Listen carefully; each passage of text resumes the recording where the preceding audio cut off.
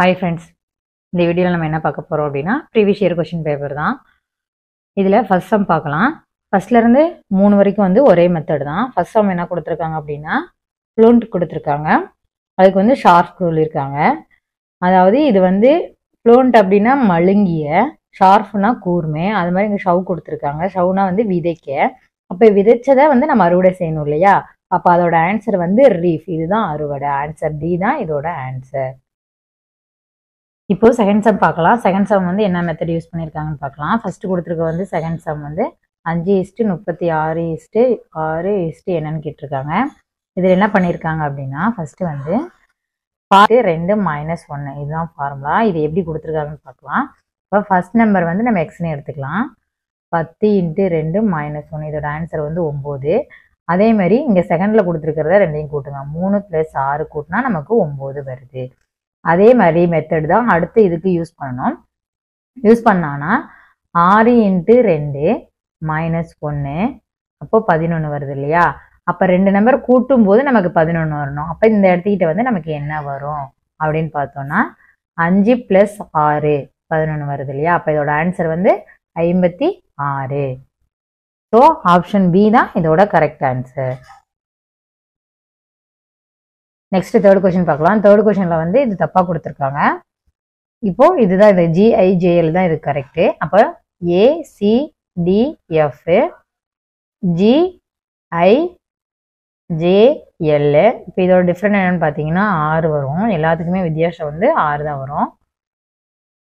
அதே மாதிரி T V W ஒய்க்கு பாருங்கள் ஆறு வித்தியாசம் பார்த்தோம் அப்படின்னா இசட் வருது ஃபஸ்ட்டு பிக்கு அடுத்து ஆறு பார்த்தோம்னா பி டபிள்யூக்கு அடுத்து ஆறு பார்த்தோம்னா சி விக்கு அடுத்து ஆறு பார்த்தோம்னா இ இது எல்லாமே ஆறு. அப்போ ஆன்சர் வந்து Z B C Z B C option B தான் இதோட ஆன்சர் அடுத்து ஃபோர்த்து கொஷினு ஃபோர்த்து கொஷினில் என்ன சொல்லியிருக்காங்க அப்படின்னா கொடுத்துருக்க நாலு ஆப்ஷனில் ஏதாவது ஒரு ஆப்ஷன் வந்து டிஃப்ரெண்ட்டாக இருக்கும். இப்போ அந்த மாதிரி பார்த்தோன்னா ஃபஸ்ட்டு ஈஸ்ட் கொடுத்துருக்காங்க வெஸ்ட் கொடுத்துருக்காங்க சவுத் கொடுத்துருக்காங்க நார்த் நார்த்தோட வெஸ்ட் சேர்ந்துருக்கு. இதுதான் டிஃப்ரெண்டான ஆன்சர் அப்போ ஆப்ஷன் டி தான் இதோட கரெக்ட் ஆன்சர் அடுத்து அடுத்து அஞ்சாவது சம் பார்க்கலாம். அஞ்சாவது சம்மில் என்ன கொடுத்துருக்காங்க அப்படின்னா இருபத்தி ஒன்று ஈஸ்ட்டு ஆறு கொடுத்துருக்காங்க. இப்போது இது ரெண்டும் வந்து ஏதாவது லிங்க் இருக்கா அப்படின்னு பாருங்கள் இப்போது நான் அஞ்சாவது சம் போட்டு பார்க்கலாம். இருபத்தி ஒன்று ஈஸ்ட்டு ஆறு. அடுத்து ஆறோட ஏதாவது மல்டிப்ளிகேஷன் பண்ணும்போது இருபத்தி ஒன்று வருதா அப்படின்னா கிடையாது. ஏழை விட ஏழோட மூணு பண்ணாதான் நமக்கு இருபத்தி ஒன்று வருது. அப்போ ஏழு வந்து இதில் எப்படியாவது வரணும். இப்போ பார்க்கலாம். எல்லாத்துலேயும் வந்து ஆறு கொடுத்துருக்க ஆறு இன்ட்டு இதை வந்து ஏழு பை ரெண்டுன்னு வச்சுக்கலாம். ஏழு பை ரெண்டோட மல்டிப்ளிகேஷன் பண்ணுறோம் பண்ணும்போது இதை சுருக்கும் போது மூணு கிடைக்கும். அப்போ ஏழு மூணு இருபத்தி ஒன்று கிடைச்சிருச்சு. இப்போ அதே மாதிரி அடுத்துக்கு பார்க்கலாம். இருபத்தி ஒன்று இஸ்ட்டு நாலு கொடுத்துருக்காங்க. அந்த நாலை வந்து ஏழு பை ரெண்டோட பெருக்கிறோம். பெருக்குனா இங்கே ரெண்டு இப்போ பதினாலு கிடைச்சிருக்கு. ஆனால் நமக்கு ஆன்சர் வந்து இருபத்தி எட்டு இல்லையா? அப்போ இது வந்து டிஃப்ரெண்ட்டாக இருக்குது இது இருக்கட்டும். அடுத்து நாற்பத்தி ரெண்டு நாற்பத்தி ரெண்டில் வந்து பன்னெண்டு கொடுத்துருக்காங்க. பன்னெண்டை வந்து ஏழு பை ரெண்டோட பெருக்கிறோம். ஆறு ஆறு நாற்பத்தி ரெண்டு கிடைச்சிருக்கு கரெக்டு அடுத்து எண்பத்தி நாலு இதை வந்து இருபத்தி நாலு கொடுத்துருக்காங்க. அதை வந்து ஏழு பை ரெண்டால் பெருக்கிறோம். இங்கே பண்ணும்போது பன்னெண்டு. பன்னெண்டு ஏழும் நமக்கு எண்பத்தி நாலு கிடைக்குது. அப்போ இதில் கிடைச்சிருக்க ஆன்சர்லேயே வந்து டிஃப்ரெண்டான ஆன்சர் வந்து செகண்ட் ஆன்சர் தான். நமக்கு கிடைச்சிருக்க வந்து இருபத்தி நாலு தான். சாரி நமக்கு கிடைச்சிருக்கிறது வந்து பதினாலு தான் கிடைச்சிருக்கு. ஆனால் ஆன்சர் வந்து இருபத்தி எட்டு வரணும். ஸோ இதுதான் டிஃப்ரெண்டான ஆன்சர் அப்போ ஆப்ஷன் பி தான் இதோட கரெக்ட் ஆன்சர் ஆறாவது சம் பார்ப்போம். ஆறாவது சம்மில் என்ன இருக்குது அப்படின்னா எல்லா நம்பரும் வந்து மைனஸ் பண்ணுற மாதிரி இருக்கு. இப்போ ஒரு சில சம்மில் வந்து நம்ம டைரெக்டாக மைனஸ் பண்ணியிருப்போம் மூணுக்கு வந்து ஈக்குவல் நம்பர் கிடச்சிருக்கு ஒன்றுக்கு மட்டும் வேரியேஷன் கிடச்சிருக்கும். இது வந்து அதே மாதிரி தான் ஆனால் சின்ன சேஞ்சஸ் இருக்குது இதில். இதில் என்ன சேஞ்சஸ் அப்படின்னா மூணு முப்பத்தி நாலு மைனஸ் பன்னிரெண்டு கொடுத்துருக்காங்களா? இது என்ன பண்ணுறோம் அப்படின்னா மூணு ப்ளஸ் நாலுன்னு போட்டு மைனஸ் ஒன்று ப்ளஸ் ரெண்டுன்னு போடுறோம். அந்த மெத்தட் போட்டு செட் ஆகலை அப்படின்னா இது மாதிரி வரும். டைரெக்டாக மைனஸ் பண்ணி பார்ப்போம். அதில் செட் ஆகலை அப்படின்னா இந்த மாதிரி போட்டு பார்க்கலாம். இது போட்டோன்னா இப்போ இங்கே பாருங்கள் ஏழு மைனஸ் மூணு அப்போ ஆன்சர் வந்து நாலு வந்திருக்கு. அதே மாதிரி நாற்பத்தி மூணு மைனஸ் முப்பதை எப்படி போடலாம் அப்படின்னா நாற்பத்தி மூணு மைனஸ் முப்பதை. நாலு ப்ளஸ் மூணு மைனஸ் மூணு ப்ளஸ் ஜீரோ அப்போ இதோட ஆன்சர் என்ன வரும்? ஏழு மைனஸ் மூணு இதுக்கும் வந்து நாலு வருது இல்லையா? அடுத்து ஐம்பத்தி ரெண்டு மைனஸ் இருபத்தி ஒன்று இதை வந்து எப்படி போடலாம்? அஞ்சு ப்ளஸ் ரெண்டு மைனஸ் ரெண்டு ப்ளஸ் ஒன்று இங்கே பாருங்க. ஏழு மைனஸ் மூணு இதே சேம் தான். நாலு தான் வருது. இங்கே நாலு வந்திருக்கு இங்கே நாலு வந்திருக்கு இங்கே நாலு வந்திருக்கு. இப்போ அடுத்து பாருங்க. அறுபத்தி ரெண்டு மைனஸ் பத்தொம்போதுக்கு பார்த்தோம்னா ஆறு ப்ளஸ் ரெண்டு மைனஸு ஒன்று ப்ளஸ் ஒம்பது இப்போ இதில் பாருங்க. எட்டு மைனஸ் பத்து. அப்போ ஆன்சர் நமக்கு மைனஸ் ரெண்டு வருது இல்லையா? அப்போ இதுதான் டிஃப்ரெண்டான ஆன்சர் அப்போ இதோட ஆன்சர் வந்து டி அறுபத்தி ரெண்டு மைனஸ் பத்தொம்போது தான் இதோட ஆன்சர் அடுத்து ஏழாவது சம் ஏழாவது சம்ல என்ன சொல்லியிருக்காங்க அப்படின்னா which one of the following set of letters when sequentially placed at the gaps in the given letter series small sorry given letter series solve complete eight அதாவது இங்கே ஆப்ஷன் வச்சு தான் நம்ம இதோட ஆன்சர் போடுவோம். எப்படி அப்படின்னா ஃபர்ஸ்ட் வந்து பி கொடுத்துருக்காங்க இல்லையா? ஃபஸ்ட்டுக்கு பி போடுங்க. பிசி அடுத்து அதே மாதிரி பிசி வருதா எங்கேயாவது பாருங்க. இங்கே ஒன்று வருது. இங்கே ஒன்று வருது. இந்த இடையில வந்து பிசி போட முடியுமா? அப்படின்னா ஒரு கேப் வருதா அப்படின்னு பாருங்க. அந்த மாதிரி வராது. இந்த கேப்ல வந்து இங்கேயும் அப்போ சி போடுற மாதிரி இருக்கும் இல்லையா? அப்போ பிசிசி ஏ அந்த மாதிரி வரும். கிடையாது. இப்போ ஏசி போடுங்க. இங்கே ஏ இருக்கு. அடுத்து ஏக்கு பக்கத்தில் எங்கேயாவது சி இருக்கான்னு பாருங்க. கிடையாது. பி போடுங்க. பிசி இருக்கு. இங்கே பிசி போடலாம். ஓகே. அடுத்து சி கொடுத்துருக்காங்க. அடுத்து ஏ கொடுத்துருக்காங்க. பிசி ஆல்ரெடி இருக்கு. அடுத்து சியில் முடிஞ்சிருக்கு. அப்போ இந்த ஆன்சர் தான் இதோட கரெக்ட் ஆன்சர் எப்படி நான் போட்டு காமிக்கிறேன் பாருங்க. அதாவது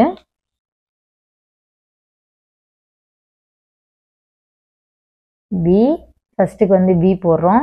அடுத்து சி இது வந்து கேப்பில் இருக்கிறது. அடுத்து சி அடுத்து வந்து சி போடுறோம். ஏபி இருக்கு. அடுத்து ஒரு சி போடுறோம். சிஏ இருக்கு. அடுத்து ஒரு பி போடுறோம். சிசி இருக்கு. அடுத்து ஏ போடுறோம். பிசி இருக்குது லாஸ்ட்டில் வந்து சி இருக்குது இதில் வந்து என்ன கொடுத்துருக்கோம்? ஃபஸ்ட்டு பி கொடுத்துருக்கோமா? அடுத்து சி கொடுத்துருக்கோமா? சி வந்து எந்த இடத்துல கொடுத்துருக்கோம்? இங்கே ஒன்று கொடுத்துருக்கோம். இங்கே ஒரு சி கொடுத்துருக்கோம். B C C B A C கொடுத்துருக்கோம். இதை வந்து எப்படி பிரிக்கலாம் அப்படின்னா பிசிசிஏ வந்து ஒரு பார்ட்டாகவும் அதே மாதிரி பிசிசிஏவை இன்னொரு பார்ட்டாகவும் அதே மாதிரி பிசிசிஏவை வந்து இன்னொரு பார்ட்டாகவும் பிரிக்க முடியும். இப்போ இது எல்லாமே சேமாக இருக்கா? அதனால தான் இதோட ஆன்சர் வந்து சி தான் கரெக்ட் ஆன்சர்னு சொல்கிறோம் அடுத்து எட்டாவது சம் பார்க்கலாம். எட்டாவது சம் வந்து பதினொன்று பத்து அடுத்து என்ன? நூறு ஆயிரத்தி ஒன்று ஆயிரம் பத்தாயிரத்தி ஒன்று கொடுத்துருக்காங்க. எல்லாம் இறங்கு வரிசையில் இருக்குது இது எப்படி வந்திருக்குன்னு பார்க்கலாம். ஃபஸ்ட்டு என்ன கொடுத்துருக்காங்க அப்படின்னா பதினொன்று கொடுத்துருக்காங்க இல்லையா? அதை வந்து ஒன்றால் ஃபஸ்ட்டு பதினொன்று கொடுத்துருக்காங்களா? அதை வந்து ஒன்று இன்ட்டு பத்து மைனஸ் ஒன்றை வந்து பத்தால் பெருக்கி ப்ளஸ் ஒன்று பண்ணியிருக்காங்க ஃபஸ்ட்டு அதாவது பத்து ப்ளஸ் ஒன்று பதினொன்று பதினொன்றுலேருந்து ஒன்று மைனஸ் பண்ணியிருக்காங்க நமக்கு பத்து கிடச்சிருக்கு. இப்போ ஃபஸ்ட்டு ரெண்டு டைம் கிடச்சிருக்கா? பதினொன்று பத்து. அதே மாதிரி ஒன்றுக்கு அடுத்து என்ன சொல்லுவோம் நம்ம? ஒன்று பத்து நூறு ஆயிரம் பத்தாயிரம் சொல்லுவோம் இல்லையா? அப்போ ஒன்றுக்கு அடுத்து நம்ம பத்து போடலாம். பத்து இன்ட்டு பத்து ப்ளஸ் ஒன்று பத்து இன்ட்டு பத்து வந்து நூறு வந்துடும் நூறு ப்ளஸ் ஒன்று நூற்றி ஒன்று அதுலேருந்து ஒன்று மைனஸ் பண்ணால் நமக்கு நூறு கிடைக்கும் இல்லையா? இப்போது இந்த இடத்துக்கிட்ட நமக்கு என்ன வரும் அப்படின்னா நூற்றி ஒன்று தான் வரும். அப்போ நம்ம கண்டுபிடிச்சிருக்கு என்ன கண்டுபிடிச்சிருக்கோம்? நூற்றி ஒன்று அதுலேருந்து ஒன்று மைனஸ் பண்ணும்போது தான் நூறு அடுத்தது வந்திருக்கு. அப்போ நம்மளோட ஆன்சர் என்ன? நூற்றி ஒன்று ஆன்சர் ஏ தான் இதோட கரெக்ட் ஆன்சர் அடுத்ததுக்கு போட்டு பாருங்க. ஒன்று பத்து நூறு. நூறை வந்து பத்தால் பெருக்கி ப்ளஸ் ஒன்று பண்ணுங்கள் ஆயிரம் ப்ளஸ் ஒன்று அப்போ ஆயிரத்தி ஒன்று வந்துருச்சா? சரி. ஆயிரத்தி ஒன்று வந்திருக்கா? இந்த ஆயிரத்தி ஒன்றுலேருந்து மைனஸ் ஒன்று பண்ண சொல்லியிருக்காங்க. அப்போ நமக்கு ஆயிரம் வந்திருக்கு. ஸோ இந்த மெத்தட் தான் இந்த எயிட் சம் மெத்தடு ஆன்சர் வந்து ஏ தான் இதோட ஆன்சர் அடுத்து ஏ இசட் ஜிடி எம்என் அடுத்து என்ன அப்படின்னு சொல்லி கேட்டிருக்காங்க. இது எப்படி அப்படின்னா இது அஸ்யூஷல் போடுறது தான் நைன்த்து சம்மில் வந்து ஃபஸ்ட்டு லெட்டர்ஸை மட்டும் எடுத்துக்கலாம். ஏ ஜி எம்மு அடுத்து என்னன்னு கேட்டிருக்காங்க. கொடுத்துருக்கிறது ஒய் இப்போ இது ரெண்டுக்கு கேப் எவ்வளோ வருது அப்படின்னா ஆறு வருது. அதே மாதிரி இது ரெண்டுக்கும் ஆறு. இப்போ இது ரெண்டுக்கும் கேப்பு ஆறாவது இடத்துல என்ன இருக்குது அப்படின்னா எஸ் அடுத்து இது ரெண்டுக்கும் கேப்பு வந்து ஆறு. அடுத்து செகண்ட் லெட்டர் பாருங்கள் இப்போ நமக்கு வந்து எஸ் வந்திருக்குன்னு எடுத்துக்கிட்டா அடுத்து செகண்ட் லெட்டர் வந்து இசட்டு டி என்னு இங்கே என்ன வருதுன்னு கேட்டிருக்காங்க. அடுத்து பி இருக்கு. இப்போ இந்த இடத்துக்கிட்ட என்ன வரும் அப்படின்னா இதுவும் ஆறு லெட்டர்ஸ் வித்தியாசம் தான் அப்போ இந்த இடத்துக்கிட்ட எண்ணுக்கு அடுத்து ஆறாவது இடத்துல வந்து என்ன இருக்கு அப்படின்னா ஹச் இருக்கு. அப்போ இதோட ஆன்சர் வந்து எஸ் ஹச் ஆன்சர் பி தான். இதோட கரெக்ட் ஆன்சர்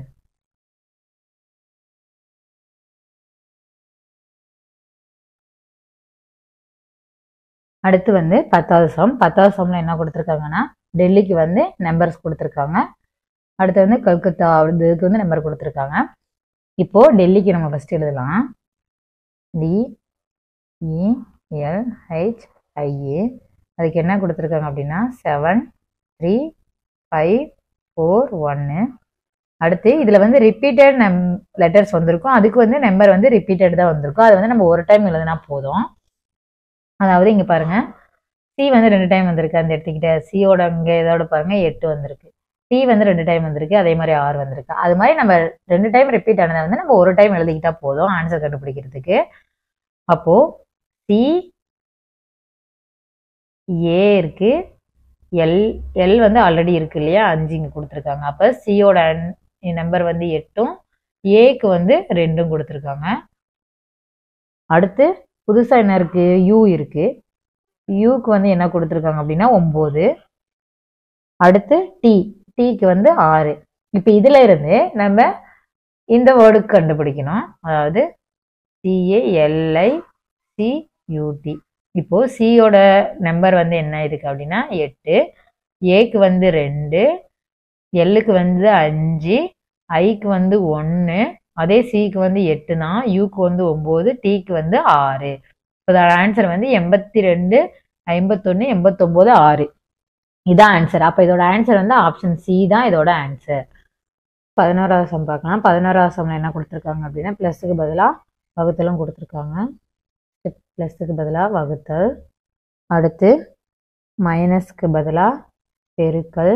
அடுத்து பெருக்கலுக்கு பதிலாக கழித்தல். அடுத்து வகுத்தலுக்கு பதிலாக கூட்டல் கொடுத்துருக்காங்க. இப்போ கொஷினில் என்ன கொடுத்துருக்காங்க? Eight plus six minus two divided four into four இப்போது எயிட் ப்ளஸ் ப்ளஸுக்கு பதிலாக வகுத்தல். அப்போ எட்டு வகுத்தல் ஆறு இன்ட்டு ரெண்டு ப்ளஸ் நாலு மைனஸ் நாலு கொடுத்துருக்காங்க.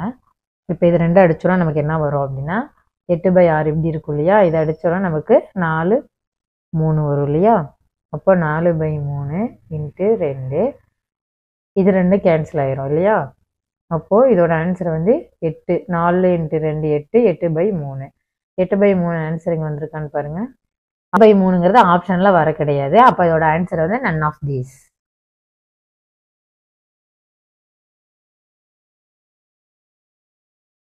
அடுத்து பன்னிரெண்டாவது சம் பன்னிரெண்டாவது சம் என்ன கேட்டிருக்காங்க? மீனிங்ஃபுல் ஆர்டரில் வந்து வேர்டு கண்டுபிடிக்க சொல்லியிருக்காங்க.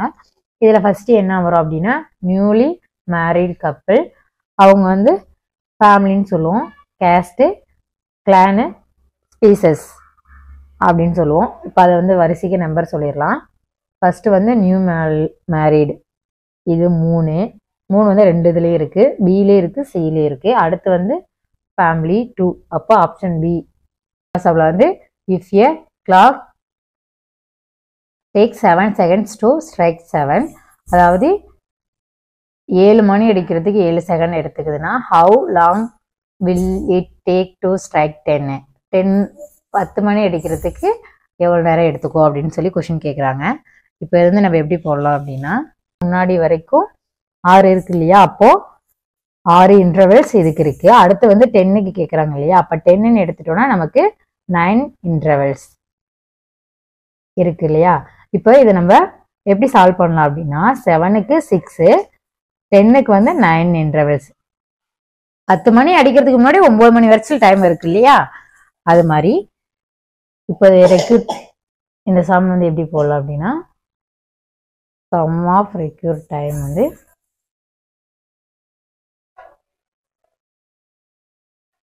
ஏழு பை ஆறு. ஏழுக்கு வந்து அதுக்கு முன்னாடி ஆறு மணி வரைக்கும் டைம் இருக்கு. அடுத்து ஒம்பது இப்போ நம்ம பத்து தான் கேட்குறாங்க அதனால வந்து நம்ம இன்டர்வல்ஸ் மட்டும் தான் எடுத்துக்கிறோம். ஒம்பது இப்போ இதை சால்வ் பண்ணோம் அப்படின்னா மூணு இங்கே வந்து ரெண்டு. அப்போ மேலே வந்து ஏழு இன்ட்டு மூணு வந்து இருபத்தி ஒன்று பை ரெண்டு வரும். இதை வந்து நம்ம செகண்டுக்கு கன்வெர்ட் பண்ணும்போது இது வந்து நம்ம செகண்ட் இருபத்தி ஒன்று பை ரெண்டா? இதை வந்து செகண்டுக்கு கன்வெர்ட் பண்ணும்போது பத்து ஒன் பை டூன்னு வரும். இதை பெருக்கணும்னா இருபது ப்ளஸ் ஒன்று இருபத்தி ஒன்று அப்போ இருபத்தி ஒன்று பை டூ இப்போ ஆன்சர் வந்து பத்து ஒன் பை டூ அதுதான் இதோட ஆன்சர் இப்போ அங்கே இருக்கா அப்படின்னா? கிடையாது இல்லையா?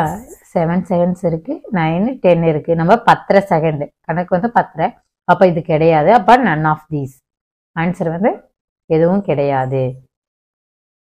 சிஸ்டர்ஸு பியோட மதர் வந்து சி சியோட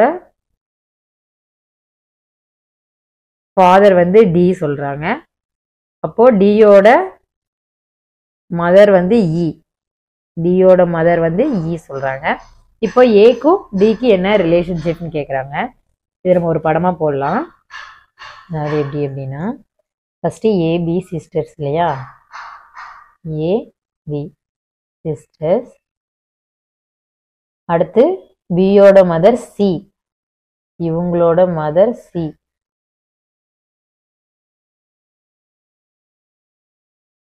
சியோட ஃபாதர் டி சியோட ஃபாதர் டி இப்போ இவங்களோட அப்பா இவங்க டி ஃபாதர் டியோட மதர் யாரு? இவங்களோட மதர் யாரு? ஈ சொல்றாங்க. E. ஈ மதர் இப்போ ஏக்கும் டிக்கும் என்ன ரிலேஷன்ஷிப் இது ரெண்டுக்கு என்ன அப்படின்னு கேக்குறாங்க. பாருங்க. இவங்க ரெண்டு பேரும் அக்கா தங்கச்சி. சரிங்களா? இவங்களோட அம்மா இவங்க ரெண்டு பேர்த்துக்குமே அம்மா யாரு? சி தான். சரியா? இவங்களோட அப்பா தான் டி. அப்போ தாத்தா. இவங்க ரெண்டு பேர்த்துக்கு வந்து இவங்க தாத்தா இல்லையா? இவங்க ரெண்டு பேரும் அக்கா தங்கச்சி. இவங்களோட அம்மா வந்து சி. இவங்களோட சியோட அப்பா தான் டி. அப்போ இவங்களுக்கு அப்பா அப்படின்னா இவங்களுக்கு யாரு? ஏபிக்கு வந்து தாத்தா இவங்க. அப்ப டிக்கு ஏக்கு வந்து ரிலேஷன்ஷிப் என்ன வருது அப்படின்னா தாத்தா பேத்தி முறை வருது. அப்போ கிராண்ட் டாட்டர் ஆப்ஷன் பி தான் இதோட ஆன்சர் அடுத்து பதினஞ்சாவது கொஸ்டின் பார்க்கலாம். பதினஞ்சாவது கொஸ்டின்ல என்ன கொடுத்துருக்காங்கன்னா டேலண்ட் இஸ் ரிட்டன் அஸ் லேண்டன்ட்னு கொடுத்துருக்காங்க. அதாவது இது அப்படியே திருப்பி எழுதியிருக்காங்க. இதை எப்படி எழுதியிருக்காங்கன்னு பார்க்கலாம். ஃபர்ஸ்ட்டு டேலண்ட்டை எப்படி எழுதியிருக்காங்கன்னா எல்ஏடிஇஎன்டி கொடுத்துருக்காங்க. சேலை இதை மட்டும்தான் எழுதியிருக்காங்க பாருங்க. எல்ஏடின்னு திருப்பி எழுதியிருக்காங்க இஎன்டி அப்படி இருக்கு. அதே மாதிரி அடுத்துக்கு கேட்குறாங்க எக்ஸோட்டிக் வந்து என்னன்னு கேட்குறாங்க லாஸ்ட்ல வந்து டிஐசி வந்து அப்படியே தான் இருக்கும். ஓஎக்ஸ்இ இது மட்டும்தான் மாறும். அப்போ ஆப்ஷன் சி தான் இதோட ஆன்சர் அடுத்து பதினாறாவது சம் பதினாறாவது சம்ல என்ன சொல்லியிருக்காங்க அப்படின்னா மிஸ்ஸிங் நம்பர் வந்து கண்டுபிடிக்க சொல்லியிருக்காங்க. மிஸ்ஸிங் நம்பர் ஸோ பதினாறாம் சம் எப்படி போடலாம் அப்படின்னா நம்ம எப்போதுமே ரோவை வந்து ஆட் பண்ணுவோம் இல்லைன்னா மைனஸ் பண்ணுவோம் மல்டிப்ளிகேஷன் பண்ணுவோம் ஈக்குவலாக வருதா அப்படின்னு பார்ப்போம். ரோ வரல அப்படின்னா காலம் வருதா அப்படின்னு பார்ப்போம். அப்படி இல்லைன்னா ஒரு ரோ விட்டு ஒரு இது கூட்டும்போது நமக்கு அதோட ஆன்சர் வருதா அப்படின்னு சொல்லி பார்ப்போம். இது வந்து எப்படின்னா சேம் ஒரு ரோ வந்து கூட்டுனா நமக்கு எல்லா ரோவும் வந்து ஈக்குவலாக வருதா அப்படின்னு பார்க்க போகிறோம் இப்போ பார்த்தோன்னா மூணு ப்ளஸ் ஆறு ப்ளஸ் எட்டு இதோட ஆன்சர் வந்து பதினேழு வருது இல்லையா? அதே மாதிரி அடுத்து கூட்டுங்க. அஞ்சு ப்ளஸ் எட்டு ப்ளஸ் நாலு பன்னிரெண்டு பன்னிரெண்டு ப்ளஸ் அஞ்சு வந்து பதினேழு. சாரி அடுத்து வந்து நாலு ப்ளஸ் ஏழு ப்ளஸ் இந்த இடத்துட்டு என்ன வரும்? இப்போ நாலும் ஏழும் கூட்டினோன்னா பதினொன்று வருது. பதினொன்றில் பதினேழுக்கு வந்து மீதி வந்து ஆறு தான் நமக்கு தேவை. அப்போ இந்த இடத்துட்டு வந்து ஆறு வருது. அது போட்டோன்னா நமக்கு ஆன்சர் வந்து பதினேழு வந்துடும் அப்போது ஆன்சர் வந்து ஆப்ஷன் ஏ தான் இதோட கரெக்ட் ஆன்சர் ஆறு போட்டால் ஆன்சர் வந்து கரெக்டாக வந்துடும் அடுத்து பதினஞ்சு சாரி அடுத்து பதினேழாவது சம் பாருங்க. பதினேழாவது சம் என்ன சொல்லியிருக்காங்க அப்படின்னா Manik walked forty metres towards north to a left turn and walked twenty metre he again took a left turn and walk forty metre how far and in which direction is he from the starting point இவங்க எங்கே starting point வந்து எது இருக்கும் அப்படின்னு சொல்லி கேட்குறாங்க இதோட பேர் அதாவது ஸ்டார்டிங் பாயிண்ட் போனாங்க இல்லையா அதுக்கும் இப்போ லாஸ்ட்டில் வந்து நிற்கிறதுக்கும் பேர் வந்து எது இருக்குது அப்படின்னு சொல்லி கேட்குறாங்க இப்போ அப்படி நம்ம பார்க்கலாம். இதுக்கு ஒரு படம் போட்டுடலாம். இது வந்து என்ன அப்படின்னா பதினேழில் ஃபஸ்ட்டு வந்து மணிக் வாக்குடு ஃபார்ட்டி மீட்டர் இங்கே என்ன சொல்லியிருக்கு ஃபார்ட்டி மீட்டர் நார்த்து நார்த்தில் போகுது இல்லையா? அப்போது ஃபஸ்ட்டு ஃபார்ட்டி மீட்டர் நார்த்தில் இங்கே வந்து ஏ கொடுத்துக்கலாம். இது வந்து பி கொடுத்துக்கலாம். அடுத்து டோன் லெஃப்ட்டு லெஃப்ட் தானே சொல்லியிருக்காங்க. வாக் டுவெண்ட்டி மீட்டர் அடுத்து லெஃப்ட் வந்து டுவெண்ட்டி மீட்டர் இங்கே வந்து சி கொடுத்துடலாம். அடுத்து டோன் லெஃப்ட்டு ஃபார்ட்டி மீட்டர் அடுத்து வர்றது வந்து ஃபார்ட்டி மீட்டர் இதுலேருந்து லெஃப்ட்டு எகைன் இங்கே வருது ஃபார்ட்டி மீட்டரில் ஓகே. இப்போ இதோட சமமாக அடுத்து அதோட ஆப்போசிட் டைரக்ஷனில் என்னன்னு கேட்குறாங்க இல்லையா? அதோட ஹேர் இப்போது இது ரெண்டுக்கு வந்து ஸ்டார்டிங் பாயிண்டில் இருந்து இது ரெண்டும் ஜாயின் பண்ணால் எத்தனை மீட்டரில் வரும் அப்படின்னு சொல்லி கேட்குறாங்க எந்த சைடு எத்தனை மீட்டர் ஓகேவா இப்போ இதோடது பார்த்தோம் அப்படின்னா இங்கேயும் மேலே இருபது மீட்டர் அப்போ கீழே இங்கே வரும்போது எவ்வளோ வரும்? இருபது மீட்டர் தான் வரும் இல்லையா? அப்போ ஆன்சரில் வந்து இருபது மீட்டர் அப்போ ஆன்சரில் வந்து இருபது மீட்டர் கன்ஃபார்ம் அப்போ இருபது மீட்டர். இது வந்து நார்த் சைடா ஈஸ்ட் சைடா வெஸ்ட் சைடா சவுத் சைடான்னு கேட்குறாங்க கிளம்புனது வந்து நார்த் சைடு கிளம்புனாங்க. லாஸ்ட்ல வந்து எங்க நிக்கிறாங்க அப்படின்னா சவுத்தில் நிக்கிறாங்க. அடுத்து போகணும் அப்படின்னா வெஸ்ட் சைடு தான் போகணும்.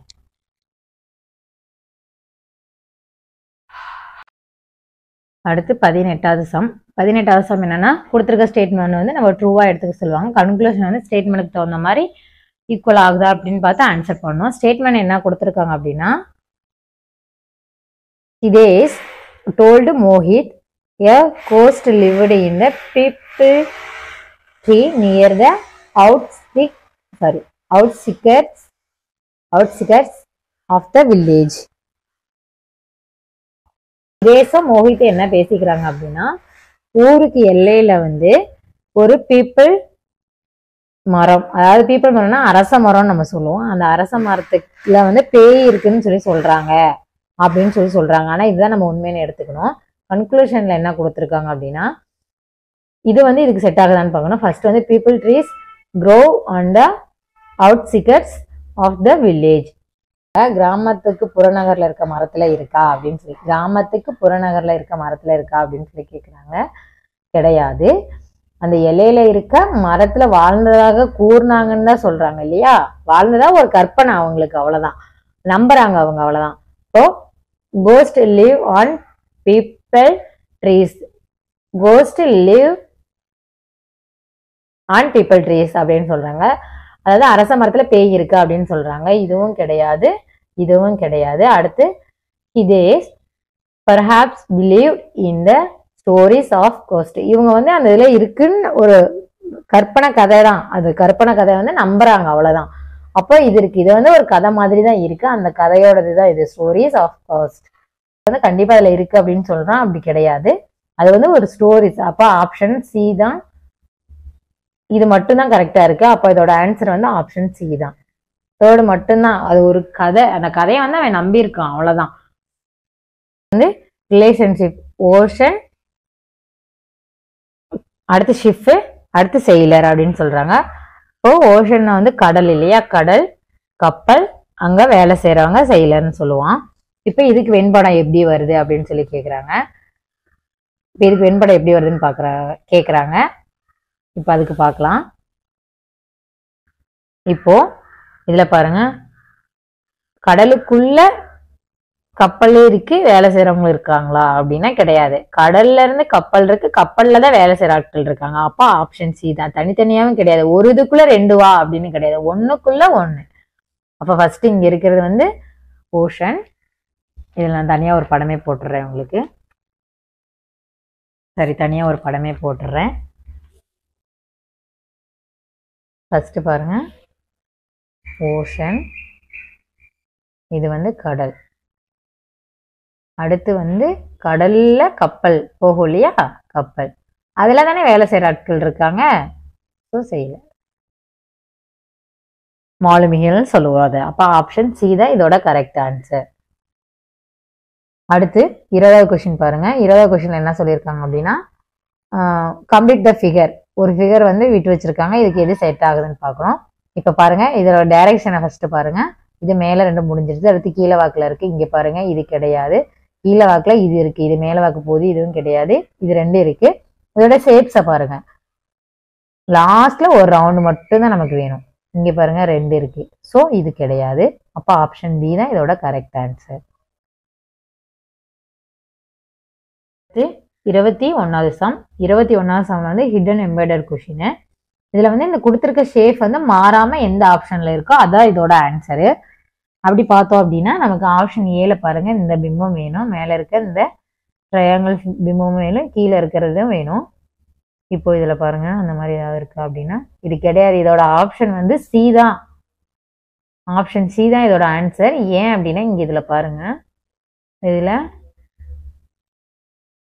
இந்த சேஃப் வந்திருக்கும். இதுல இடையில இந்த கோடு இருக்கு. இந்த கோடு வந்து இங்க போவோம் இப்போ இதுல இந்த சைடு வந்திருக்கா? அடுத்து மேலேயும். அடுத்து இந்த இது வருது. இந்த சேஃப் தான் மேலே கொடுத்துருக்காங்க. அதே சேஃப் வந்து இதில் கிடைக்குது.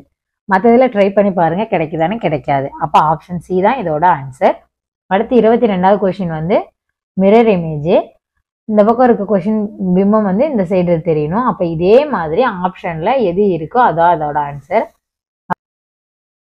பி தான் இதோட ஆன்சர் கொஷின் ஃபிகர் பாருங்கள் கொஷின் ஃபிகர் வந்து இதுதான். இதோட பிம்பம் வந்து அப்படியே இங்கே மாறாமல் கிடைக்கணும். மிரர் இமேஜ் தான். அப்போ இதோட ஆன்சர் வந்து ஆப்ஷன் பி தான் இதோட ஆன்சர் அடுத்து இருபத்தி மூணாவது கொஷின் வந்து ஹேண்ட்ஸ் கொடுத்துருக்காங்க. இது வந்து லெட்டர்ஸ் வந்து எங்கெங்கே இருக்குது அப்படின்னு சொல்லி ஃபஸ்ட்டு கண்டுபிடிக்கணும். அதுக்கு நம்ம ஃபஸ்ட்டு போடலாம்.